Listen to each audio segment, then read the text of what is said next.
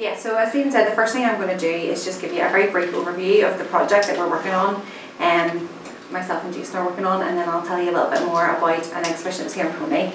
Um, so, Making the Future um, is a cross-border cultural programme which will empower people to use museum collections and archives to explore the past and create a powerful vision for the future.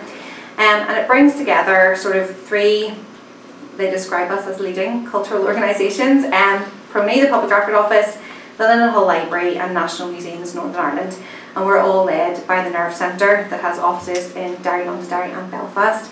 Um, it's supported by 1.82 million euro of EU funding under the PEACE IV programme. And basically what it does is bringing together all of these organisations under nine different strands of work. And we're all looking at sort of the tagline, which is everyone has a voice, everyone has a story, and everyone has a future. And it's looking at three things. We're obviously delving into the past, using archival collections and museum collections to look at the past, take the temperature of where we are now, and see what our hopes and ambitions are for the future. And we're working with participants from various different communities, cultural religious backgrounds, social backgrounds, um, and we're doing it in lots of different ways. So as I said, there are nine different strands of work under this project, um, and the one that Jason um, in the Linen Hall Library and myself and my colleague Laura here are working on together is Women in the Archives, and that's what we're going to talk to you about today. Um, and all of the other strands, um, PRONI works on some of them, the Linen Hall works on some of them, and National Museums Northern Ireland work on some of them as well. Um, but it's Women in the Archives that brought PRONI and the Linen Hall Library together to work in partnership, and it's what we're going to talk about today. So, Women in the Archives, what is it all about? Um, we have an events programme. We've had a number of events already and we will have more um, between now and the end of March 2020. Um, they range from talks to tours, bus trips and things like that. And um, we have a huge community engagement programme underway at the minute as well. We're about halfway through. Um, we are ambitiously aiming to bring almost 500 people through our community engagement programmes. Um, and we do those in partnership between the Linen Hall Library and us here in PRONI. And my colleague Laura, she's not here today because she is in Armagh working with 15 young people aged between 12 to 16 and they're on a filmmaking programme all week and um, making films about um, Armagh Jail so she's busy doing that so I think maybe I might have the easier job standing here talking to you guys today than um, up there with all those teenagers. But um, and then exhibitions and that's really what Jason and I are going to talk to you about today. Um, our two sister exhibitions um, that we curated and launched um, in April earlier this year. There was one here in PRONI, it was called In Her Words, and one in the Linen Hall Library called Anonymous Was a Woman. Um, parts of the two exhibitions have now combined and they're on tour currently um, and the exhibition is now just called Women in the Archives. It's currently on display in Derry Central Library if you wanted to see the combined exhibition um, before it moves to Strabane for September. Um, parts of In Her Words are at the back of the room. I don't know if you've had a chance to look at them yet. Um, the two smaller boards um, are going to different homes. So Marjorie Lyle's board is going to Portrush because that's where she was from. And Mary Austin's is hopefully going to start its tour in Conway Mill because it's about mill working. But the two of them have now combined. And just before I get started talking about In Her Words and how it was created and what's in it, I'm just going to hopefully play you this YouTube video if it works. Um, and it's just going to give you a very quick oversight into what we actually we're doing with the two exhibitions. So, fingers crossed. Hello, my name is Lynsey Gillespie and I work here at the Public Record Office of Northern Ireland, otherwise known as PRONI. I'm an archivist and I was also the curator for this exhibition for Women in the Archives. Women in the Archives is a strand of the Making the Future project and it's a partnership between PRONI and the Linen Hall Library. Women in the Archives is curating two exhibitions and also a huge community engagement programme. The core of our community engagement programme, we're really looking into everyday stories we want to hear the stories of the many different things that women would have done throughout the centuries. Um, we're looking into everyday women as well. We're actually very interested in ordinary experiences at extraordinary times. It was lovely to be involved with the group. Just get involved and find out more about the history of the wonderful women of Belfast and what they were involved in. So I'm, I'm Jason Burke, I'm creator of the Anonymous Was a Woman exhibition. So the Anonymous Was a Woman exhibition is part of the Women in the Archives strand of the Making the Future project, which is funded by PEACE IV and managed by SEUPB. The exhibition is rooted in a historical timeline, a women's history timeline. Quickly became clear that what I was actually doing was constructing a timeline of pioneering achievements, pioneering individuals, groundbreaking events in women's history. Women are often writing out of history and this archive attempts to write them back into history and give visibility of those strong stories from the past to inspire us as we move forward into the future. Through conversations with our community engagement participants, we decided that we wanted to tell the story of unseen and unheard of women. The women represented in this exhibition are just a small percentage of the women's stories held here in PRONI, and the women's stories held here in PRONI are just a small proportion of the women's history here in Northern Ireland. But what this exhibition aims to do is bring forward the stories of the women that we are able to find for the very first time. The exhibition then takes us through decades and centuries worth of fascinating events which are related to women's history. The exhibition then is separated into zones then above and beyond the exhibition. The zones allow us as the Linen Hall Library to try and display some of the artefacts, some of the rich collections that we have on the topic which is which is women and women in history. The zones reflect women in education, they reflect women in the workplace, women in politics. There's a zone on Mary Ann McCracken and the female connections to the Linen Hall Library and also a very interesting zone which is called In Her Words. Exhibition today is just incredible, all the hard work that went into it. And there's great thanks goes to Lynsey, Jason and to Laura for their encouragement and for all their hard work that's made this available today. Okay, so I can relax a bit now that that worked relatively smoothly for me. Um, so yeah, so um, the exhibition that was here in PRONI was called In Her Words. Um, and In Her Words really had a twofold purpose. Um, it was to dig out and bring forward hidden and previously unheard female voices from the archives, um, but it also looked at letters and diaries as a medium to do this. Um, and I found, um, as I was looking into letters and diaries, um, some good quotes to sort of set the scene. Um, there's one by Ellen Terry from The Story of My Life in 1908, and it says, What is a diary? A document used to the person, useful to the person who keeps it, dull to the contemporary who reads it, and invaluable to the student centuries after who treasures it. Um, and that's kind of exactly why we pick letters and diaries. Um, and I have another one here. It's from the 1st of January 1900. Um, and it's a diary entry. It says, I begin today a new year and a new century full of anxiety and fear of what may be before us. Um, this didn't come from something in probably I wish that we had this. Um, but this is actually from a diary of Queen Victoria. And we don't know if she would have been so candid um, if she was speaking publicly um, about anxiety and fear of, of, a new year and a new century and how times were changing. Um, so while diaries of famous and notable people can give us an, offer us a deeper insight um, into their lives, um, diaries and letters are also where we can find women's experiences written um, in their own words. So around this time last year, just after we'd started this programme, um, Jason and myself and Laura were thinking about women in the archives, what it was asking of us, what it might mean to us. Um, the tagline of the entire Making the Future project is everyone has a story, everyone has a voice and everyone has a future. Um, and we felt that that was really relevant to our strand here, particularly through our exhibitions and community engagement programmes. And we're really wanting to look at three things. Um, we want to dig out as many voices from the past as we can that have been previously unheard and hidden. Um, and we want to take then a look at what it means to be a woman in 2019 and thirdly, look to the future and what histories we might be leaving behind to tell people in the future about what our lives are like. So through our earliest community engagement programs, we had discussions with the participants about what they might like to see from an exhibition. Um, and what really came through was that they really did want to hear stories of ordinary women, um, women who would reflect the lives of their mothers, their grandmothers, their great grandmothers. They'd heard many times about the great and the good and landed estate families and women who were already famous and they wanted to hear more about ordinary lives and ordinary experiences that would reflect what their families might have lived like.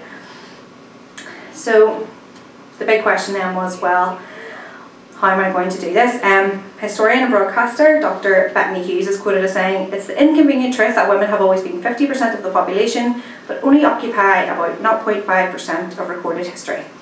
So I thought, I'm going to have my work cut out for me here to find enough stuff in here because women just don't appear um, in the written record in the same way that men do.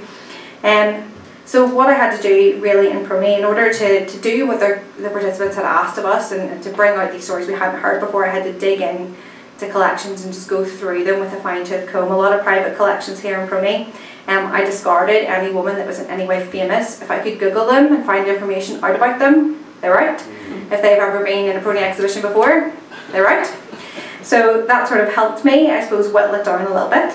Um, I've worked here in PRONI for over six years and Diaries and letters have always been my most favourite part of any collection that I've worked on. Um, I'm probably the world's slowest cataloguer because I like to read everything, every line and every letter. Um, but I've always wanted to do something with them specifically, so this was a great opportunity. Um, and whether written by famous women or unknown women, um, letters and diaries are really captivating glimpse into the past, and to read somebody's own experiences in their own words, in their letters or their diaries, is really to sort of make a new friend. And then that built for me a labour of sort of love and heartbreak um, while putting together this exhibition because I couldn't put everybody in and I have to start setting people aside um, even though I felt I'd really connected with them reading their diaries and, and their letters. But that's really how In Her Words was born. And for In Her Words I would say nearly all of the women have one thing in common and that's when they put pen to paper 150 years ago, 100 years ago, 50 years ago. Um, I'm sure they never would have imagined that we would be standing here today talking about the words that they wrote, talking about what they tell us about the past. Um, these women didn't write to make history, they wrote for many other reasons, but they're so useful to us now, all this time later. So if we look at letters that I was able to dig out and include in the exhibition, um, the start of the exhibition looked at immigrant letters, and I picked out one in particular, Annie McCune. She's not a famous woman, I just knew her name because it was on the bottom of her letters, um, and she was writing from Miami back to Belfast. Um, and her description of life um, in Miami and the picture she sends of her home in Miami are just a world away from life here in Belfast in the early 1900s. Um, but Annie McCune wasn't writing to make history or ever thinking that we would look at it and study it and see what she was saying. She was writing out of necessity and when you emigrated 150 years ago, 100 years ago, you were pretty much leaving for good. You would never be home again. You would probably never see your family again. It's totally different now. If you emigrate, you might say, oh, in six months I'll be home for a couple of weeks or I'll be home for so-and-so's wedding or whatever. And um, you can Skype every day, keep up with life as it happens. As an immigrant, that just didn't happen. 150 years ago, it was goodbye forever. And um, they're writing letters and trying to squeeze all the information that they can into letters. They've no other way of keeping in touch with the family they've left behind. So that's why we have hundreds, if not thousands, of immigrant letters here in PRONI. It's because so many people did leave Ireland to go to the US, Canada, Australia, and they wanted to keep in touch with their families. And that is how we know what it was like to emigrate all those years ago. Then we have Martha Barr and Mary Austin. Mary Austin's panel is still at the back of the room. And I found both of these sets of correspondence in it's um, in our Prime Minister's correspondence files actually in here. So these both of these ladies had written um, to James Craig, the Prime Minister, in the 1920s. And again, they're not writing to make a political point, they're not writing to make a historical point, they're literally writing out of desperation. Martha Barr um, was young, she was only in her early 20s, and so was her husband, and her husband is dying. Um, he has pleurisy, um, which she relates back to injuries that he sustained during the First World War. Um, she's been to the army, they say it's nothing to do with his service, they won't help her.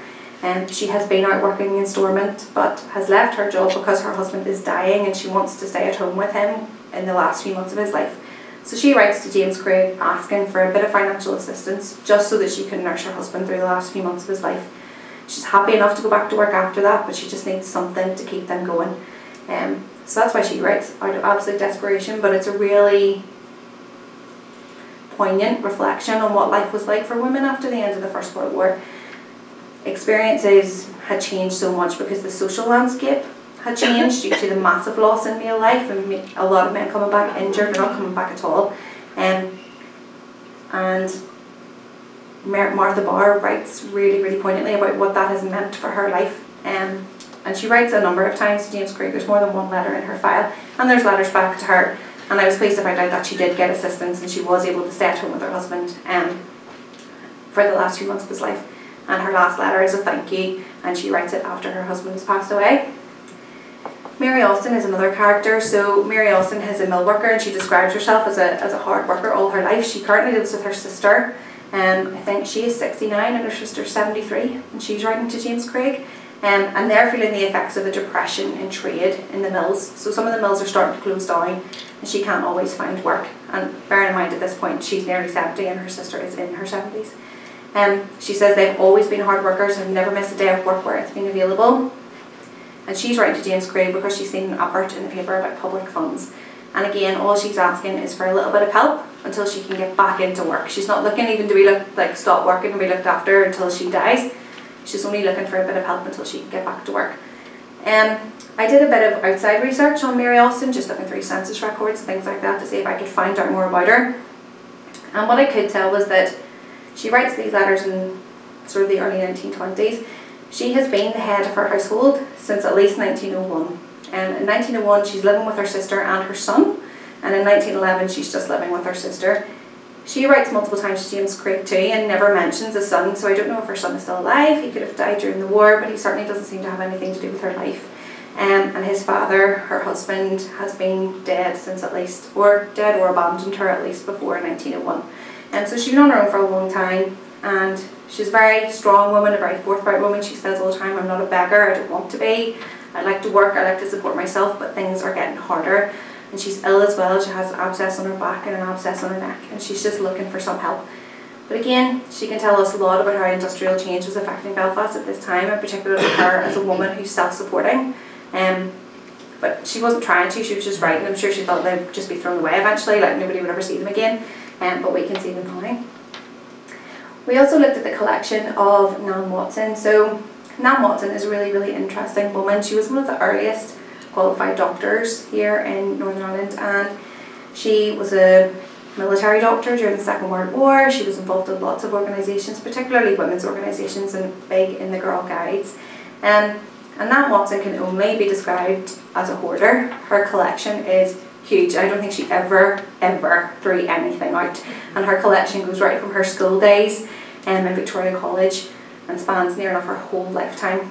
So we've got little bits and pieces of diaries that she wrote as a teenager and letters that she wrote to her mum um, and all records that go through her time at Queen's and her time as a doctor and um, during the Second World War.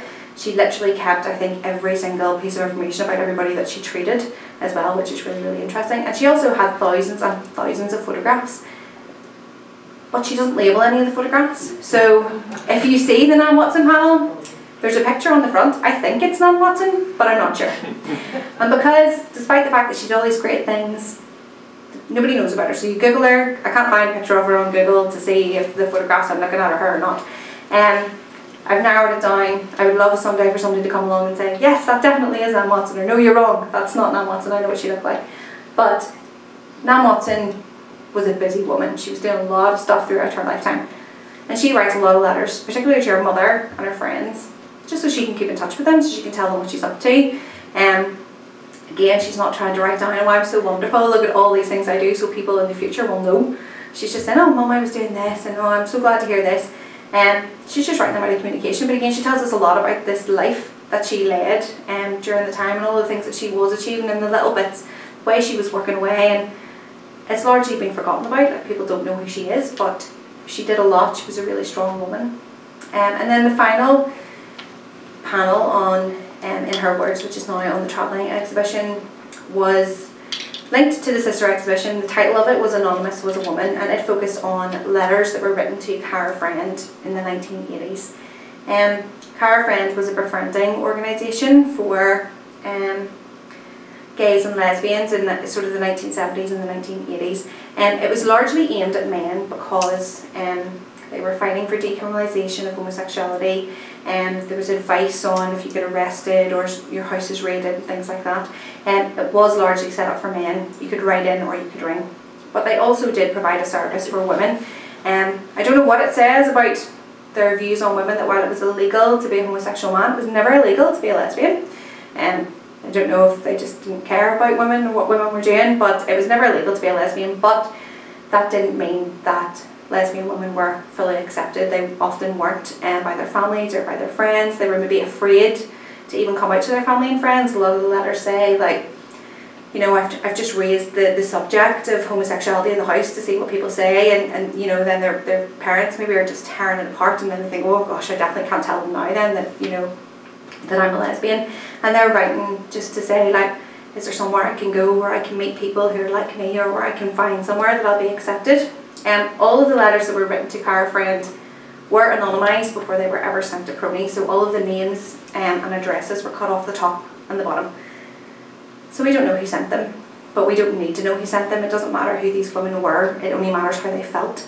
Um, and again, they're writing out of loneliness and desperation. They're not writing even to make a point about how they're being treated. They're just desperate to find somewhere to go where they can be themselves and talk to people who know how they feel.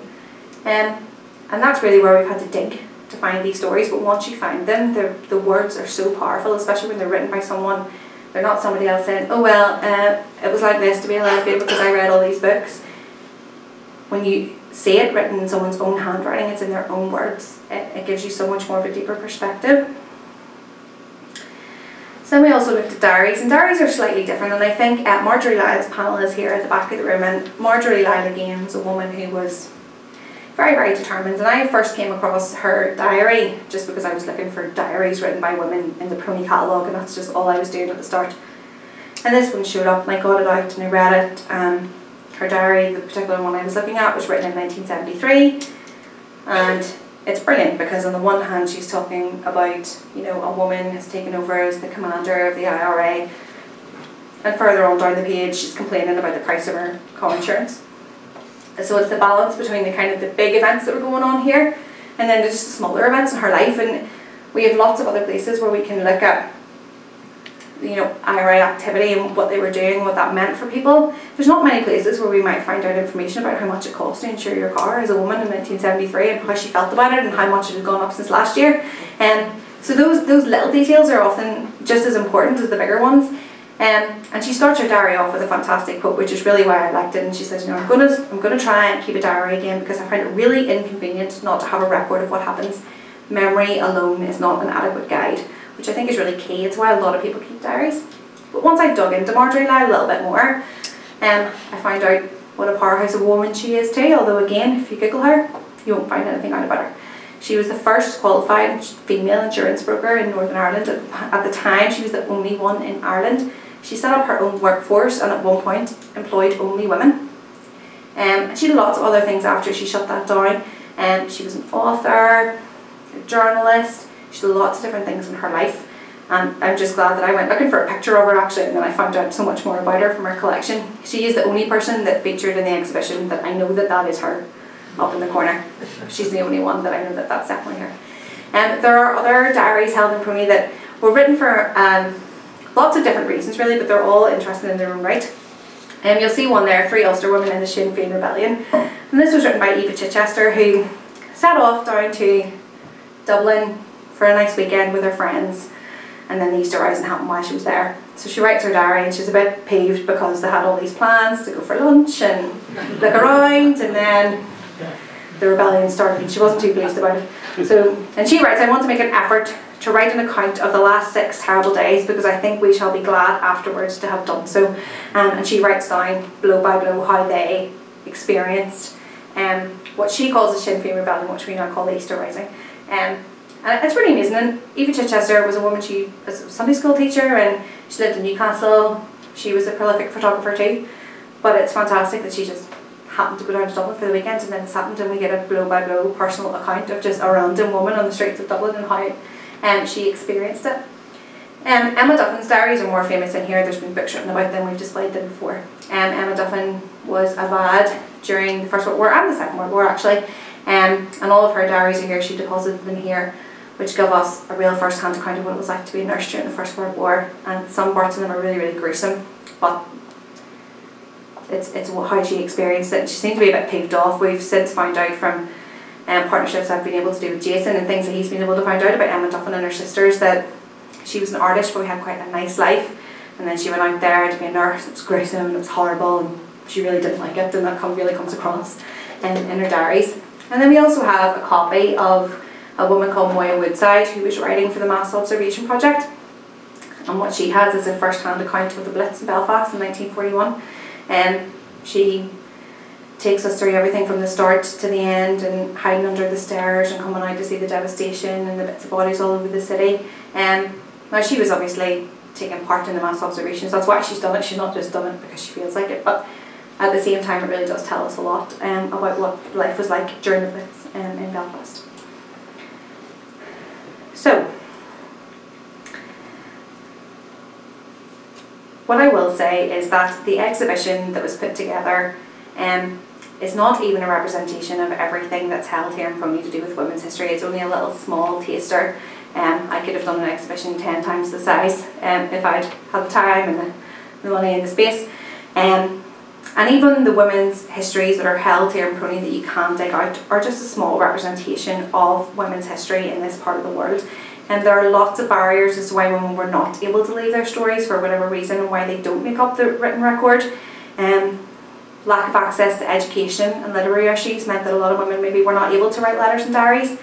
And also just a lot of other pressures on their time between working, like Mary Austin who worked really long hours, caring for their families, whether it be elderly family, children, partners who are ill, lots of other pressures on their time that they didn't have time to sit down, put pen to paper and write a really lengthy diary entry or write a big long letter.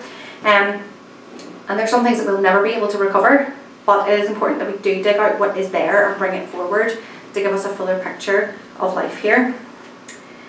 So before I hand over to Jason then, um, there was just a few things that we really encourage people to think about um, at the end of the exhibition. As I said, it was twofold. It was to find these women's stories, where do we find them and what can they tell us? But it was also to look at, okay, diaries and letters is a great place that we've been able to find them. Who writes diaries and letters anymore? Very, very few people. It's just not happening anymore. Um, so what are we creating now that will tell our story for someone in 100 years?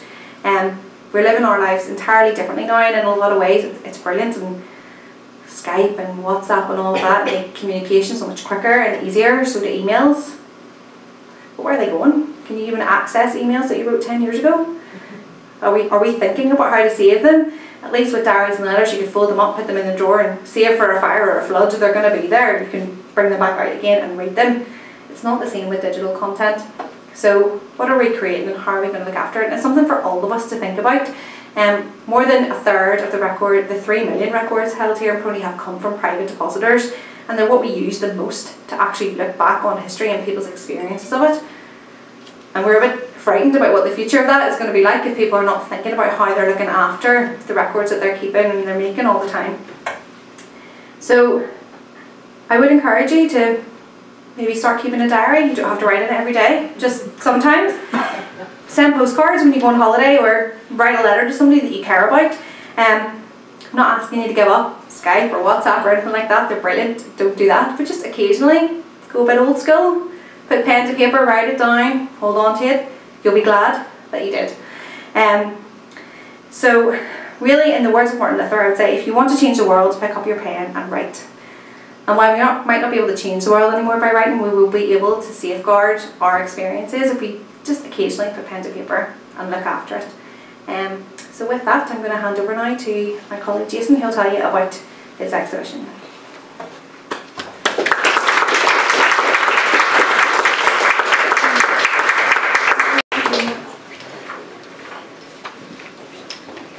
It first of all, it seems like so long ago that we worked on this exhibition, or that the exhibition was up, um, both here and at the Linen Hall Library. Um, and we've been doing lots of amazing and interesting things since, so it's only been in the last few days that I've had a chance to reflect on the exhibition and, and try to put something together for this. And it was also hard to know what to talk about and what, because there's so much, there's so much in the exhibition, what to talk about, what to leave out, um, more importantly, but hopefully you'll stick with me anyway. Um, so for most of history, Anonymous was a woman, uh, wrote Virginia Woolf in an essay titled A Room of One's Own. Um, and so came the title of the sister exhibition uh, of the In Her Words, uh, which was held at the Linen Hall Library during April and May 2019. Uh, as I say, not that long ago, but it feels like a long time ago now.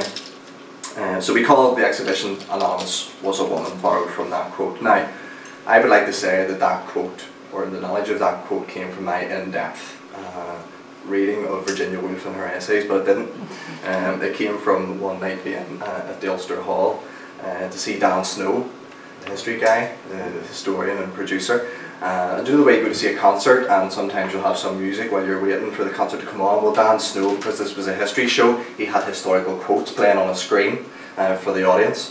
Um, and I was sitting there with my girlfriend who's here and I said, and that this quote came on the screen, Virginia Woolf, for most of history, Anonymous was a woman. And I said, that's the title of my exhibition in the Linen Hall Library and she said, is it? I said, nope, but it is now. and in many ways that was the last, as we'll talk about, that was the last sort of piece of the jigsaw, uh, was the title, uh, which bound a lot of things together, but, but we'll talk about that uh, a little later. So, what was the exhibition about? Well, the Anonymous Was a Woman exhibition uh, charted a fascinating and decisive sequence of events uh, that have contributed to female equality and citizenship in Ireland and Northern Ireland. An historical timeline actually formed the spine of the exhibition as well as thematic zones on each level which allowed the Linen Hall Library to display some of the best discoveries from the collections. So in turn the exhibition uh, was offered as a small contribution, I suppose, to the ongoing process that seeks to redress the anonymity of women in history. So how did I set about such a task? And to cut a very long story short, first and foremost, the Linen Hall Library is a library.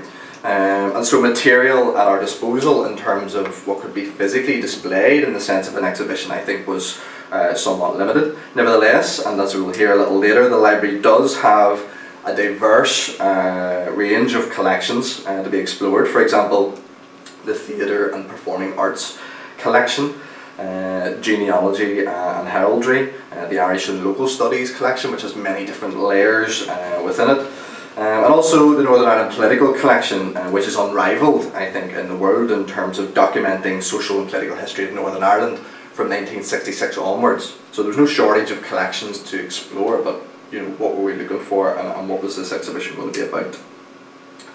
So what was required first and foremost, now bearing in mind I'd just been parachuted into the Linen Hall Library specifically for this project, I'd been a member in the past, but in terms of my in-depth knowledge of the collections, it was virtually zero. Um, so I had to familiarise myself first and foremost with what was actually there. I'm still finding out, still making discoveries, as uh, also we will hear a little later. So what was required, I think from my point of view, was a re-evaluation actually of the collection using gender-tinted spectacles um, perhaps for the first time um, in the library. And so I began a process of trawling through these collections, often manually, shelf by shelf, box by box, title by title, just trying to figure out what was actually there. Um, and I'll show you some examples of some of the things that we came across. So it's really a mixture of postcards and, as I say, books, uh, but some of them are very old books and very interesting books. There's pamphlets, there's comic strips, right up to annual reports from the Girls Brigade, if that was a line of inquiry that we wanted to, to take, or these kind of obscure uh, periodicals, the Forget Me Not, there's a sort of five or six of those I found in a brown envelope in a box. Uh, you know, but on the face of it, you search that in the catalogue, Forget Me Not, it doesn't necessarily uh, be clear that this is something which is going to include women or it's going to have a woman on the cover, on the cover. So you kind of have to go rummaging through the boxes and through uh, some of the archival boxes for this material.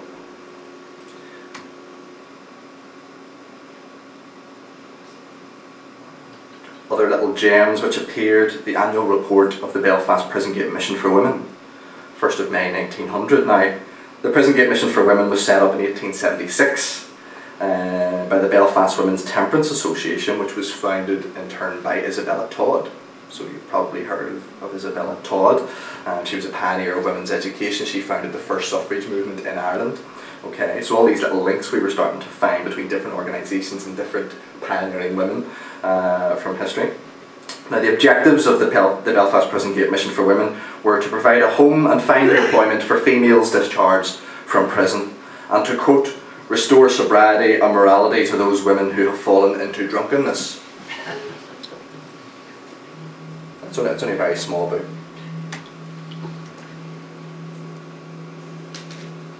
just examples again of some of the, these are quite big sort of newspaper periodical type things that you can find. Um, and to my mind they've never really been consulted at any great depth. They're, they're filled with articles um, of women, of writers, of, of, of uh, poets and, and, all sorts. Uh, you know, and all we're really seeing there is the cover without much time really to delve into these things. Um, annual reports of the Orange Widows Fund. Okay, so um, what did the Orange Widows Fund do? You know, what, what were their activities? They're all they're all held uh, within these annual reports. Uh, so these are some of the things uh, that were found, and so it was clear to me that there was going to be no shortage of material um, from which to derive information. Um, based on the findings from the collections, we could have went, I suppose, in several different directions. Uh, but it was important, I think, to maintain a sense of perspective because the task was to come up with uh, an exhibition that wasn't to write a complete history of women's history in Ireland. Uh, okay, so we had to uh, keep a sense of perspective and also be aware of the space which we had uh, which to utilise. So, saving the knowledge that the library's collections were a rich source of women's history, I approached the task in almost the same way that I would have approached uh, a history essay, I suppose, uh, which was to compile a timeline of events in order to get my own, head around the topic and, and the subject, uh, to come up with some key themes that I would want to, to address and maybe some questions to try and answer. Uh, and then a, the, the, dreaded sort of bibliography, or in this case I was calling it an inventory because it was an inventory of just material that, that was being found in the library and hope that we could slot it into the different themes which would emerge. Um, however, it was while compiling the timeline that the exhibition I think really began to take shape. Um, an historical timeline, as we've already said, formed the spine of the exhibition uh, and it flowed seamlessly, for those of you who aren't familiar with the Linen Hall Library, it flowed seamlessly through five floors of the modern Fountain Street extension. So if you're coming in from the Fountain Street door, up the stairwell, on the walls and on the glass panels was, was where the timeline uh, was situated. It charted a period of 226 years from the moment that Miss Catherine Clark became the first female member of the Belfast Library and Society for Promoting Knowledge, which we know today as the Linen Hall Library. Um, and that was in 1782, up to the recent and historic referendum in the Republic of Ireland in 2018, uh, which repealed the Eighth Amendment and provided for abortion rights for women. So during this 226 year period, there, have been, there has been a radical shift in women's role in society, and in the main, this has been achieved by the gradual acquisition of rights through legislative changes and by the remarkable achievements of female pioneers. And for some, you might argue that the struggle continues to this day. So the timeline idea then lent itself well to the exhibition space in the Linen Hall Library because it's effectively a stairwell, as we've talked about, uh, with five floors to be climbed.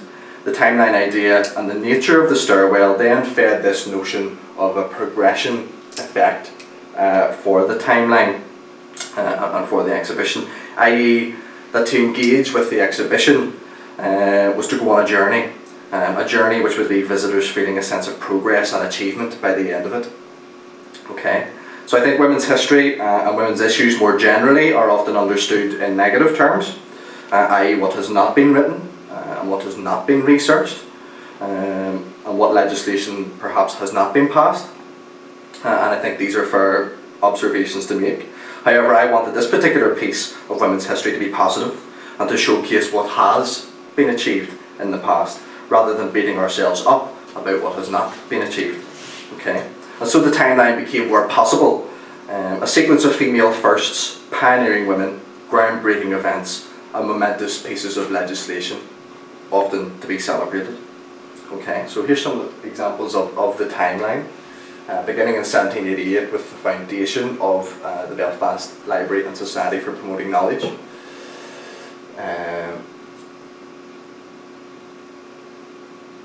and I, just picked out some, some bits and pieces at random. So 1916, you've got the Corr Sisters from Belfast who are in Liberty Hall with James Connolly during the 1916 Rising. Uh, perhaps the, for, amongst the first people to physically hold the, the proclamation they describe in their Bureau of Military History witness statements and bring it back to Belfast. Okay, so that was a groundbreaking moment. I think then you've got Julia McMordie who becomes the first female councillor in Belfast. Okay, which there have been many more uh, since 1918. Obviously, a key year for many different reasons, including Winifred Carney standing for election uh, in East Belfast, but then Constance Markievicz then uh, being the first female elected to Westminster. So you can see the idea. It took you through many, a couple of centuries, many decades um, 1989, Baroness May Blood becomes the first woman from Northern Ireland to be given a life peerage. And Baroness May Blood attended uh, the launch of the exhibition. She took part in a really interesting discussion uh, which we had on the launch night. Then on the left, for example, we have Samantha McCombe, our present librarian, the first female to hold that position uh, in the history of the library, which I thought warranted a place on the timeline.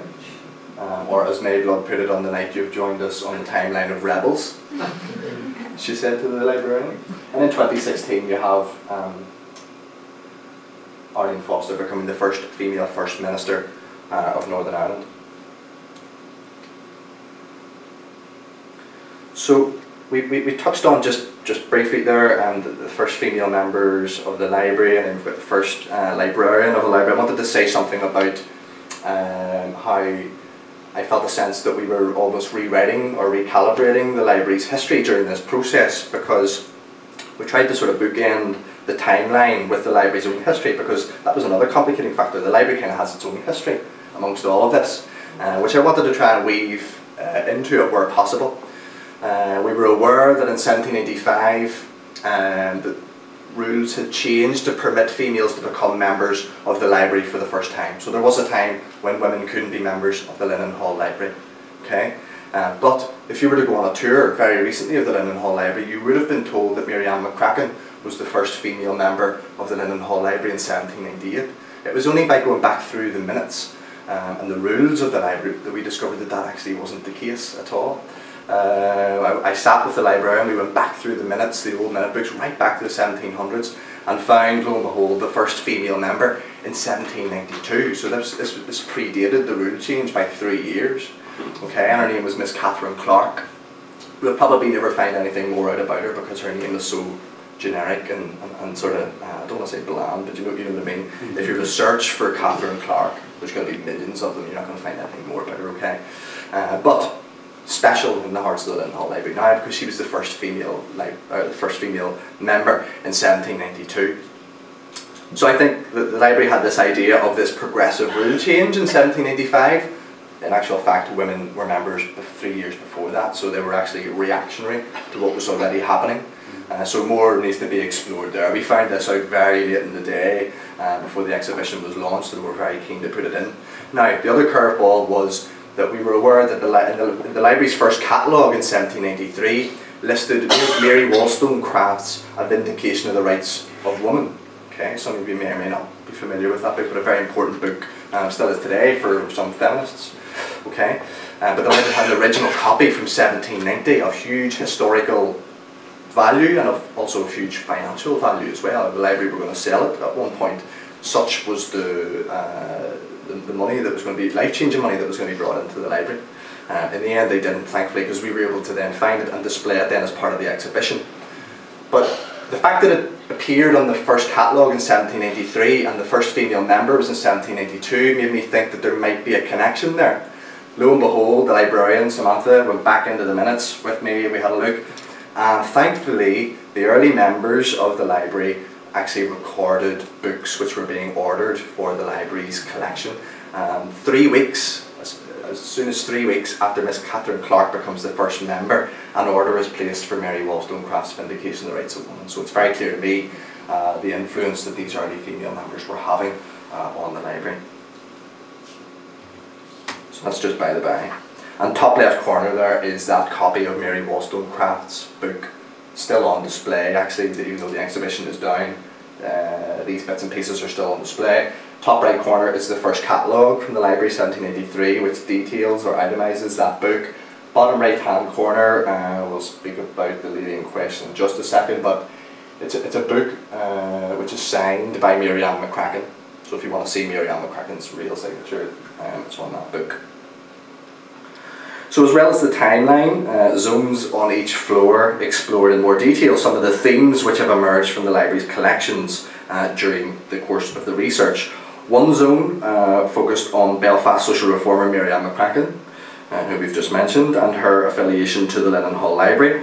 Uh, the library records show that on the 1st of November 1798, Mary Ann assumed the membership of her brother and sometime committee member of the library, Henry Joy McCracken, ex executed in July 1788. In actual fact, he owed money to the library whenever he was executed, and his family came not that long ago and did a bit of a PR stunt in the library where they cleared the debts. They were horrified to find out that he owed money, and they cleared the debts. I think they came from America.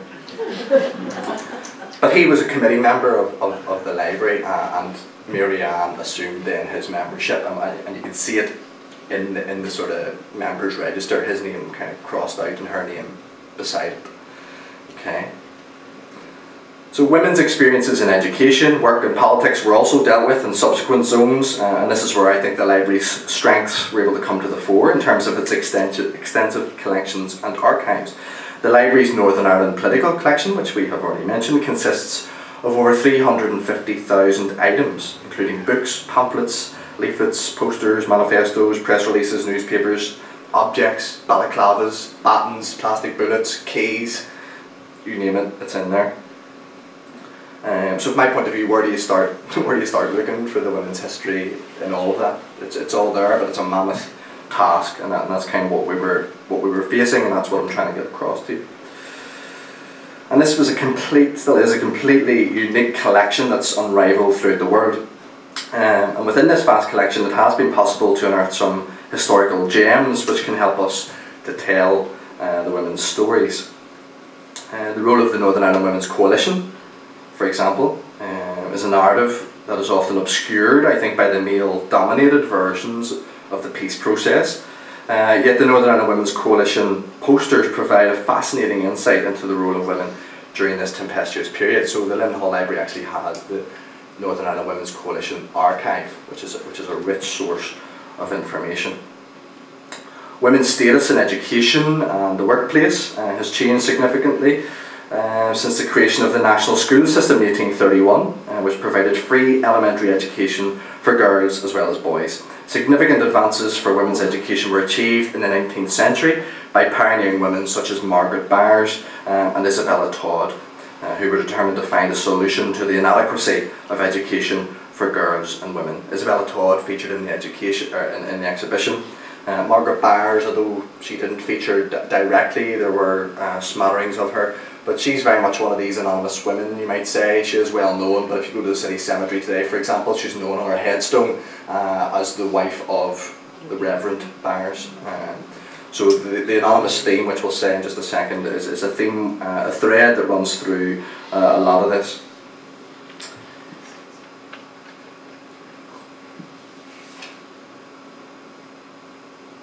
Just conscious of the time, I'm just going to move on for some of it. Okay. So maybe some of the highlights then of things that we found. The report of the Belfast Ladies Industrial School for Girls, 17th of March 1870. Okay, the Belfast Ladies Industrial School for Girls was situated in Frederick Street. Described as the first ragged school established in Ireland. Okay, so it's another one of our firsts. Um, despite um, a girls, despite being a girls' school, there were a number of boys who were permitted to attend. However, the school was managed, and you can see it from this, uh, by a committee of women. The report provides a good indication of the context in which the children attended the school by describing the fortunes of those children who left the school. Uh, and I quote, 10 went to the mill, 4 to service, uh, 30 were required at home, uh, their mothers being out at work, 14 left town, 6 went to other schools, 15 left from illness, 4 died, the remaining 49 through parents' carelessness. Um, there was no more elaboration on it. Presumably it was uh, administrative, they, they, maybe hadn't filled the forms in or hadn't got them in in time or, or whatever, but uh, it gives you an idea of the type of things um, that they were up to. This was an interesting one, the Universal Letter Writer from 1815. It's only a wee small wee tote of a book about that size. Almost afraid to touch it, it's so fragile, but one of our volunteers um, from the library, we have a, really strong team of volunteers who take tours uh, in the library, but also spend their time around the library finding things that I can't find, basically. So if I'm looking for a book and I can't find it, I'll say, Jerry, can you go and find that? And he'll spend all day going and finding it for me, and those volunteers are invaluable because I could spend a week trying to find it and then never find it. From time to time, Jerry was bringing me bits and pieces, including this little small uh, universal letter writer, and I thought it spoke well to the In Her Words exhibition, which was being planned at the time. Um, as I say, from 1815, it contains original and real life letters from men and women on love, courtship, and marriage. Um, and in, in the case of courtship, letters are featured from admiring gentlemen written to ladies in an attempt to gain their affection, were the words that I used for the caption card. Okay. Um, responses from the ladies are then categorised as favourable and unfavourable uh, to the initial approach of the gentleman. And some of these, uh, I, don't, I don't know what, what, other way to describe it, like a, like a modern day Dear Deirdre or something, or a, content, a Dear Deirdre of its time. I don't know what it is, but it's really, really fascinating to flick through and read. Uh, as I say, you can come to the library and you, you can have a look at that. Sappho Woman. See Richard's eyes lighting up there. This is taking on a life of its own. Oh, this is a lesbian comic book, a lesbian comic strip. Sappho Woman and the Greater Belfast Dykes. Now, this has been uh, both the bane of my life and also uh, an inspiration because we desperately wanted to use imagery from this comic strip in the exhibition and for some of our community engagement and stuff. But we don't own the rights to the imagery, okay? So we needed to track down the author. Now, the author when you open the inside of the book was someone called Gay May Kincaid. okay? Now, maybe in when you say it out loud, it's so obvious, it's a pseudonym. When you're reading it, it wasn't obvious, okay? So I spent ages looking for Gay May Kincaid. Could I find Gay? No, I couldn't. Asked around everyone, asked Margaret Ward, who's a prominent uh, women's historian. This book was published in 1989, okay? The publisher long went out of business, so couldn't even track down the publisher. So I said to Margaret Ward, any idea who Gay May Kincaid? There was a line of inquiry that Gay May Kincaid might have been somebody called Shauna from the Shankill. so that was a line of inquiry at one stage. Didn't materialise. Uh, through the power of the library's social media, we were able to put it out. We asked different organisations like uh, Rainbow Project, Cara Friend, uh, different organisations to put it out in their own social networks. Lo and behold, it took maybe a few days, but lo and behold, we did get there uh, tracked down a woman called Jill McKnight, who is alive and well in Greece, uh, but originally from uh, this part of the world. And so we, we managed to get the word to her. She came back to us. Um, she didn't know what all the fuss was about because I had and must have felt like hundreds of people looking for her or looking for who it was. Um, so she came back to me in a bit of a panic. We, we got it sorted. She was very happy for us to use the imagery, but the, the, the, bit that struck a chord with me was that she had no knowledge of the title of the exhibition, which was Anonymous Was a Woman. Um, I hadn't even got to that point of explaining what the exhibition was about, other than to say we would like to use your imagery. In the course of the conversation, she said, you know, Jason, um, uh, in, in that time, you know, in 1989, anonymity was vital for people like me writing books like this. And I thought, oh, this is all just falling into place in so many different ways. Uh, but from then, uh, there's been events in the Linen Hall Library which have been inspired by this comic book and that and the, the role of the comic in your own life, Richard. Uh, we had a community engagement uh, program at the Fab Lab in, in Derry, Stroke Londonderry, and somebody produced a, a, very nice piece based on the on the character. So it's kind of taken on a life of its own, and it's, it's definitely one of the most popular pieces um, of the exhibition. And you can come to the library and you can get it out and you can have a look at it and see what all the fuss is about. This is one of the first pieces that I found. Uh, I was conscious of time. This is one of the first pieces that I found in the library. Uh, an original copy, 1917. Sylvia Pankhurst, her thoughts on Easter week, her thoughts on the Easter Rising. Uh, it's an essay, but uh, in bound form, 1917 when I, when I mentioned it to our deputy librarian, do you realise we have this? And she checked it up on the catalogue and she said, you know, Jason, that's available for people to take out. So quickly there was a block put on that because the thing's very fragile. It's original piece from 1917. But Sylvia Pankhurst's thoughts on the Easter Rising, by all accounts, very much in favour of what was what was going on in Dublin during Easter week. She was a friend of James Connolly, unlike her sister, uh, who was very much of a unionist uh, outlook on life.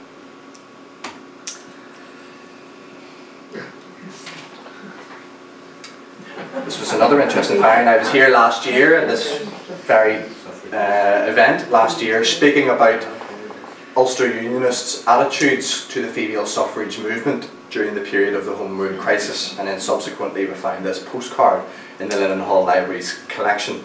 So, without getting into the whole detail of it, this refers to a time when the Women's Social and Political Union, the militant wing, uh, the militant suffragettes, uh, went to Edward Carson's house uh, in Eaton Place in London. Uh, some of them chained themselves to the railings outside and they held a protest because, uh, in a nutshell, the Ulster Provisional Government had at one time alluded to the fact that women might have representation uh, in their provisional government in, in, the event of Home Rule being passed.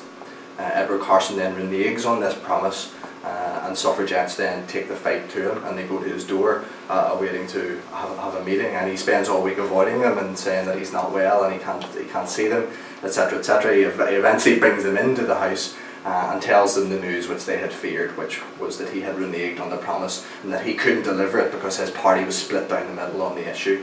Um, and he felt that the time was too uh, crucial during the Home Rule crisis to bring things like suffrage arguments into the Home Rule debate.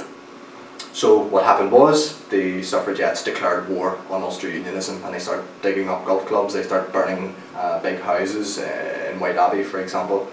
Uh, they started attacking UVF drill halls, they started breaking the windows of the old town hall. Um, and ironically, despite the fact that there are two armed paramilitary organisations um, in Ireland on the island at that time, the only violence really that was created at that time was by women. and as well as that, I think it's obviously a satirical post postcard, but it anonymises who the women were. In fact, it goes further, it dehumanises them.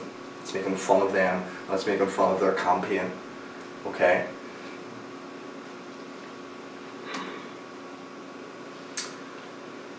So just to finish, um, I just wanted to say that great discoveries are still being made um, in the Linen Hall's collections. For example, featured in this edition of the Irish Summer magazine from 1911, we discovered this article by a lady called Catherine Sheehy titled Why I Am a Suffragette. Now, Kathleen was the sister of Hannah Sheehy Skeffington, who you may have heard of. She was also the mother of Conor Cruise O'Brien, who you've mm. probably heard of. Um, he was a cabinet minister in the Irish Republic for quite a period, and then he's a, a, an author and a historian in his own right. But the nature of the cataloguing system, um, not only at the library but in other institutions, uh, means that if you were to search for Kathleen Sheehy, you would never have turned that up. Uh, while on the face of it, a title like um, Irish Summer Magazine uh, would not necessarily suggest that you're going to find articles about suffragettes. Okay, so it poses some questions about how we actually access that information. However, discoveries like this, I think, prove that we've only just scratched the surface in terms of our understanding of what is in the Linen Hall's collections and also here at the Public Records Office, particularly where women's history is concerned. Uh, what we think we know about what is in the collections is really just a fraction of what is to be found. Um, I think I speak for both myself and Lynsey uh, when I say that we hope that these sister exhibitions have contributed in some way to a process that seeks to write women into history. We hope that it has raised challenging questions, uh, in some cases provided answers, uh, but perhaps most importantly we hope that it might inspire others to delve into the archives either here at the Linen Hall and to take forward that task of discovering these anonymous and unheard women from our past. Thank you very much.